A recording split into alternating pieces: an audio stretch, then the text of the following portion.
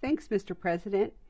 In order to have a successful copulation, or mating as we commonly refer to it, the eagles must come together on a branch or in the nest.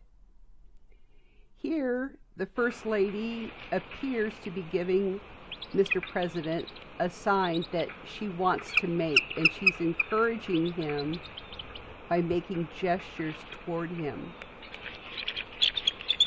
The male jumps on or even flies onto the female's back, using his wings for balance, and then curls his tail under the female's tail.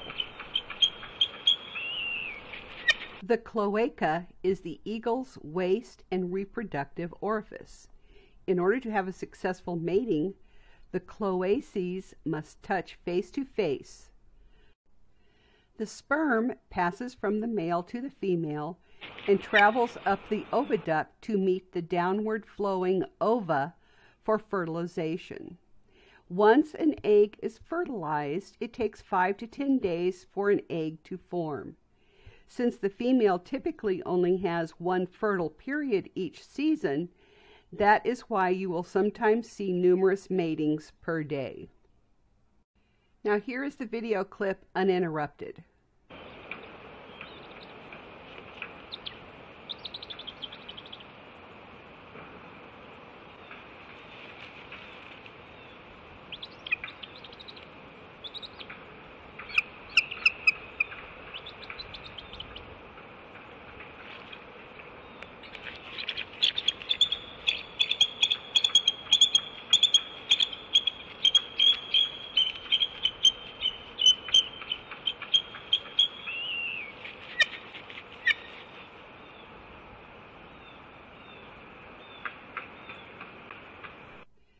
The research for my presentation on this video was obtained from Bald Eagle Sex, the Acrobatic Mating of America's National Bird by Joseph Castro.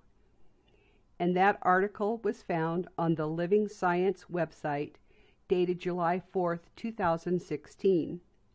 And also my information came from the Hancock Wildlife Foundation website a presentation on mating of bald eagles by David Hancock.